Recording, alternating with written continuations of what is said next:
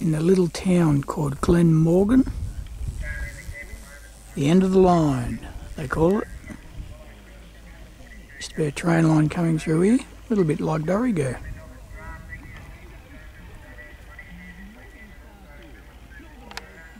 This bloke's got a good collection of old cars.